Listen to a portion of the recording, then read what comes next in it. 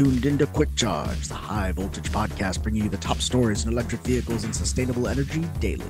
And it's all powered by electric.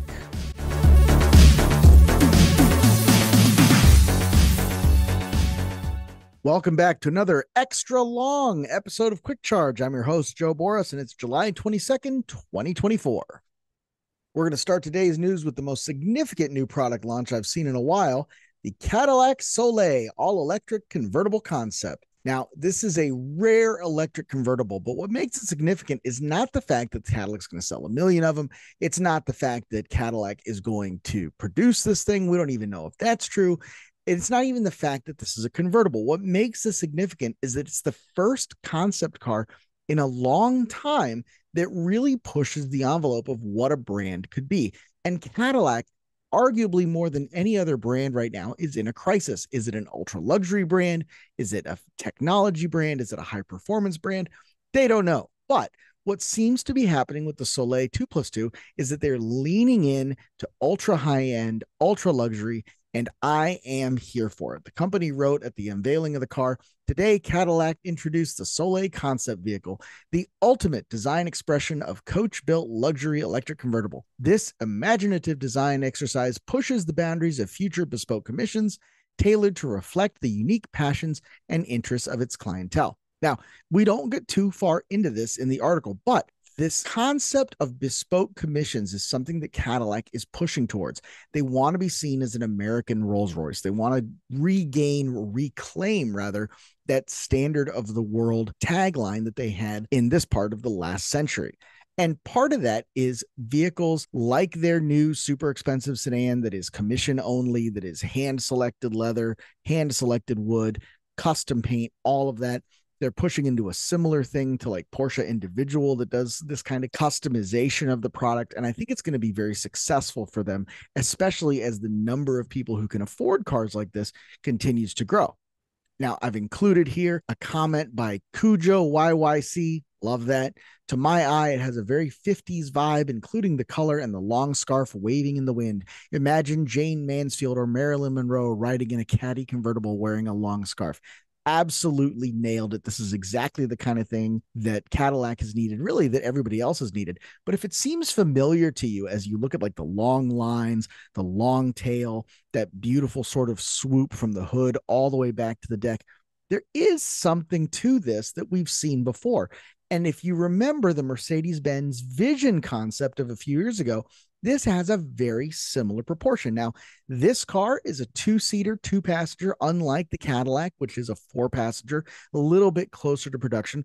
And this is way, way pie in the sky. You've got these like razor blade, ultra thin camera stocks for mirrors, where if you go back and look at the Cadillac, that seems much more production ready. And it's really an interesting contrast because Mercedes Maybach concepts are meant to be that standard of the world, that ultra sort of luxury, competing with Rolls Royce, competing with Bentley, and now apparently competing with Cadillac. Because you take one good look at this Sollei and tell me that it is not the love child of this beautiful Maybach Roadster and the greatest car of all time, the Chrysler TC by Maserati. So this is not an electric vehicle. This is from 1989 the seats look like two Shar-Peis or grandparents going at it. It is gross.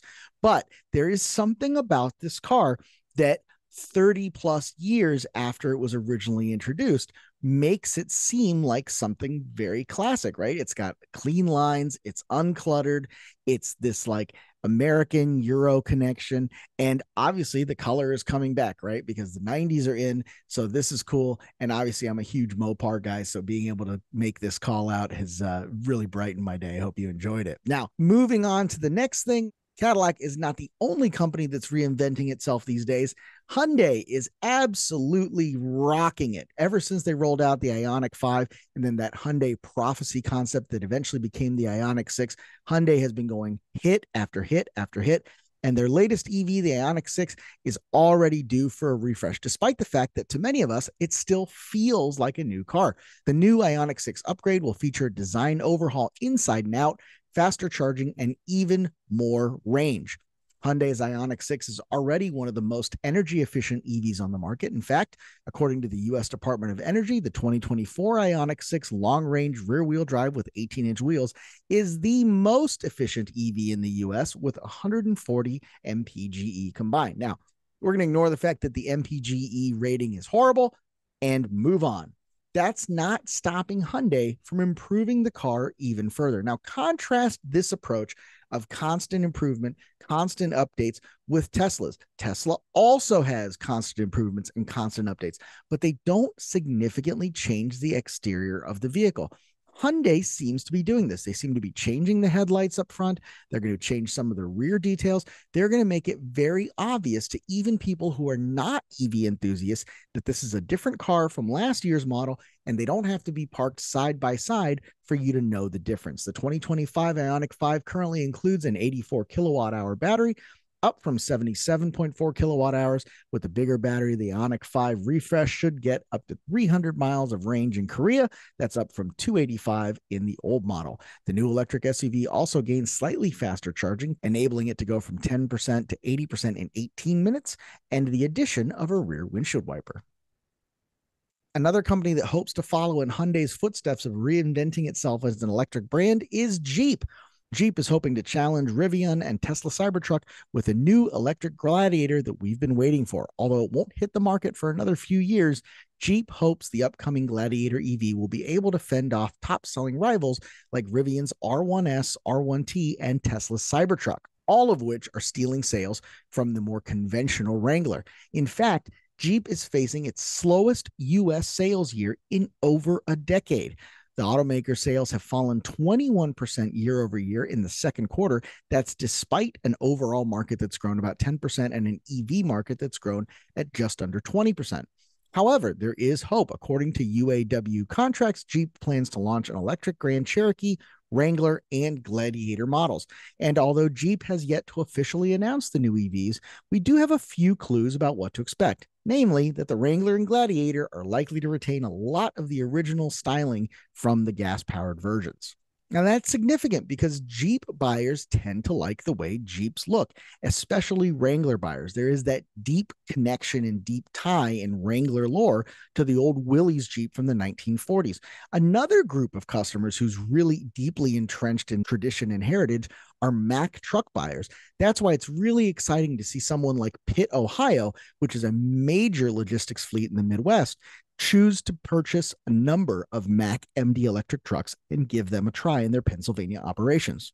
Quote, Mack Trucks is proud to support Pitt, Ohio in its emissions reduction efforts, explained Jonathan Randall, president of Mack Trucks North America. We look forward to continuing to work with Pitt, Ohio and our other battery electric vehicle customers as they navigate the sustainability journey and offering a complete ecosystem of support. Now, despite BEVs making up just 1% ish of the company's fleet, they are planning for EVs to become a bigger piece of their total asset pie. In fact, this purchase, despite being 1% of the total fleet, is about 7% of Pitt, Ohio's annual truck buy. So this is actually a bigger deal than it seems because if you expand that number into next year's truck buy and they double this order, then it's going to be closer to 15 or 20% of their overall annual truck buy.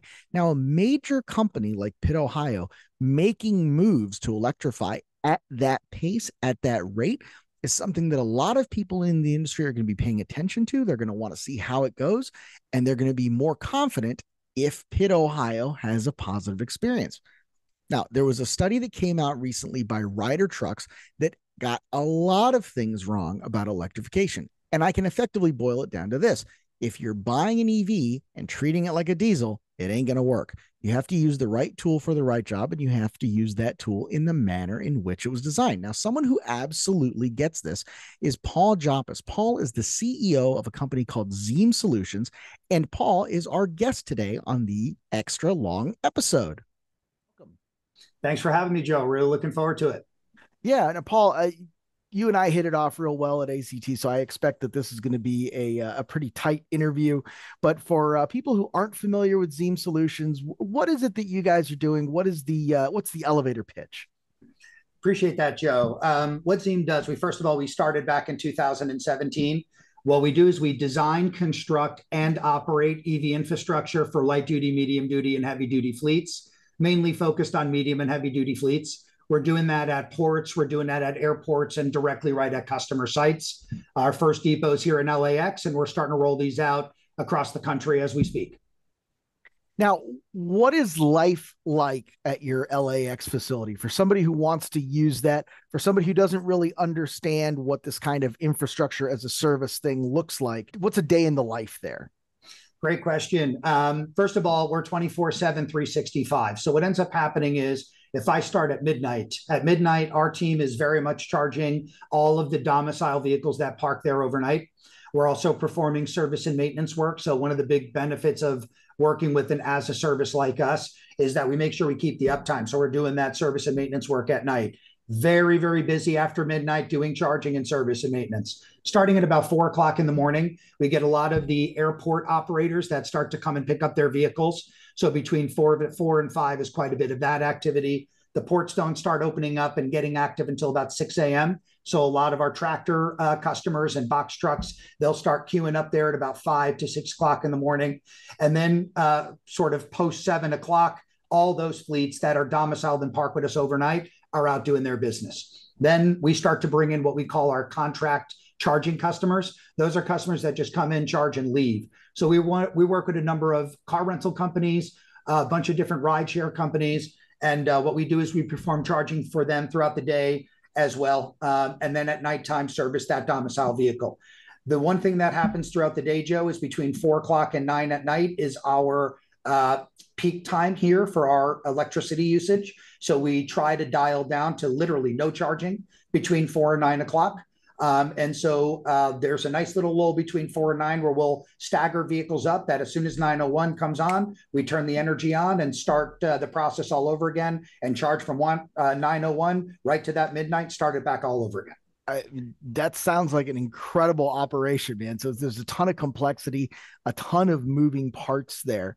Uh, when you mention that you're doing all the service and you're doing all of the uh, the let's call it maintenance, right? Not service. There's a pretty broad variety in terms of the fleets that utilize your service. I imagine there's some e-transits, there's some F-150 Lightnings, all the way up to the Class 8 semi trucks and a bunch of box vans in between. How do you ensure that the work that your techs are doing is up to those like warranty or manufacturer standards? It's a really good question. Look, um, if you're going to contract with Zeem, we need to make sure that we know the equipment incredibly well from the entire architecture of the vehicle. So what we do is if a customer comes to us, let's take uh, uh, Anheuser-Busch, I run BYDs. We're going to go, we're going to find out everything about the BYD product. So then that way, when it's on our site, we could troubleshoot it. It is 100% uh, core to the business. If we don't understand the architecture of the vehicle, we won't take it in as a contract. So it's very, very important that we do know them all. Now, you know, and you've been at ACT, there's a lot of nascent OEMs. Really, really challenging to have a team that can understand everything from a Tesla to an uh, e-transit to a Xos Lightning Systems, SEA Electric, and you name it, all the way up to the Volvo and Daimler level and everything in between. The good news is EV is not very complicated. A lot of the componentry is similar. So our team is very, very fluid in understanding the architecture of the vehicle, how to how to repair them, how to troubleshoot them, and we also do warranty work for most of these OEMs as well.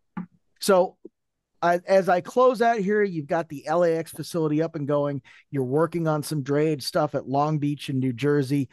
That seems to be the the the low hanging fruit once the ports i mean and it is a ridiculous thing to say so i acknowledge that up front once we've gotten through the airports and the ports you know the the the dry docks and and wet ports of the country where do you see the next big phase of commercial electrification how does Zeem play into it? And um, yeah. Really good question. Um, right now, railheads I would associate similar to ports, right? But I would tell you that, you know, a lot of the future is going straight into the customer yard. We all know many of the fleets that already jumped first, right? And they jumped first and then they realized, oh no, I paid too much for my truck and oh, I designed my infrastructure the wrong way. There was never a Zeem who could build it and operate it for you. So now the easy button's there we're getting every major fleet coming in and saying, you got to build this right in my backyard. Well, you have an LAX. Can you bring that in my backyard? And the difference between Zeem and others, we'll only do that if we're operating it. Because if we operate it, we know we get the efficiency, that 99% uptime. Everybody wants an SLA in this market. It's really hard to do that unless you're 24 7, 365, and you really know your stuff. You got to know the charger, you got to know the vehicles. Three years of operating experience, we've seen it all. We've seen it all. And I think that that's the education that we bring. So I foresee this now port, airport, those obvious ones, and railheads. It's going to go right into the customer yard, and that infrastructure is going to be fluid at the yard. That'll be next. Paul, I, you know, we're actually ahead of time. Usually I do these and they're an hour long and I got to trim it down to 20 tight minutes but this was really good. I will just simply say thank you for being on the show. Uh, if there's anything that you would like to plug or promote, any websites that you'd like people to go check out, how do people find them? How do people keep track and follow along with what you're doing? Um, I appreciate that, Joe. I mean, the one thing I would say, just overarching to your audience, EV uh, trucks are here. Like it's time now, right? The costs are getting there. There's companies like Zeem and others who are similar to us that can provide this service. It works for routes that are 250 to 300 miles or less. Let's not even talk about anything that's above that. If we could stay in that category, EV trucking and fleet is incredibly exciting. It's such a great growth area that's coming. Of course, if you're a fleet transportation company, logistics company, you want to look at electrification. And uh, right now, we're one of the t- uh, leaders in the world doing that. So please reach out. Um, our website is fairly informative. It's fairly uh, uh, cryptic for a reason because we do a lot of stuff that's important IP. But again, EV trucks are here; they're here to stay, and costs are only going to get uh, lower, and performance is only going to get better. And that's zeemsolutions.com. That's not like you know Zeem pet sitting or anything. Correct. So zeemsolutions.com. Correct. So once again, that's Paul Gioupis from Zeem Solutions. Thanks so much for being a part of the show. We're not quite done yet. As you guys know, I like to wrap things up with a conversation about energy and utilities. And Michelle Lewis's latest article, the U.S. largest co-located solar and battery storage project, is online in Nevada, and it is up and running, fully operational. The Gemini project, which sits on federal land in Clark County, Nevada, can power approximately 10% of Nevada's peak power demand. NV Energy signed a 25 year power purchase agreement for the energy produced by the plant.